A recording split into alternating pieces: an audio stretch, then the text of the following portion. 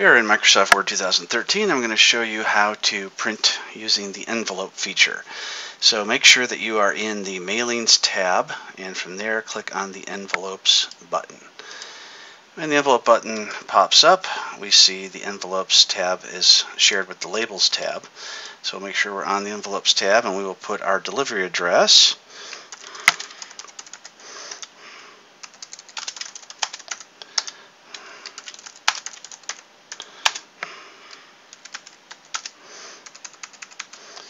And then of course we'll put our return address as well.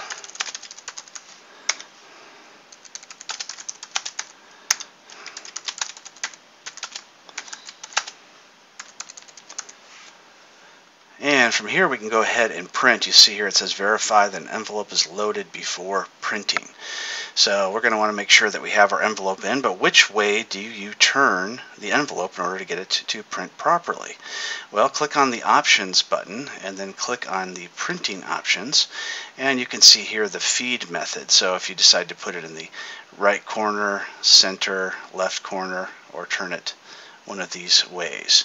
By default, it's going to be on the right side and with this particular direction. So you can also choose face up or face down. This is determined by the printer itself. So go over to your printer and uh, there's a little picture of there. It has the lines on the page of the example one. Then that means it goes face up and you would click this one. If it's, uh, it has the lines, if it's a blank page and a flap shows the lines are on the back side, then it is face down. So that is how you do it. You can also choose clockwise rotation or not clockwise. You can feed from the automatically select, or if you have more than one tray, you can choose that as well. On the envelope options, you can choose your envelope by hitting the drop down, and you see the various different envelope sizes, and the uh, popular size that is the default is size 10, which is the 4 by 9.5. You can also change the font. There is a default font that's going to use, which is the uh, 12 point regular and then the headings is the font. You can also change, change the font for the return address as well. And when you can click OK, that will apply all that information.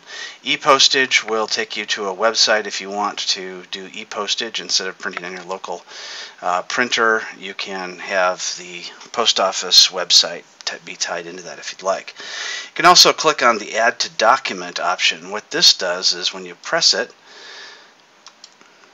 it adds the envelope printing information right to the document. So here's our document here, and then this is our envelope information here. So we can also uh, click on change document if you want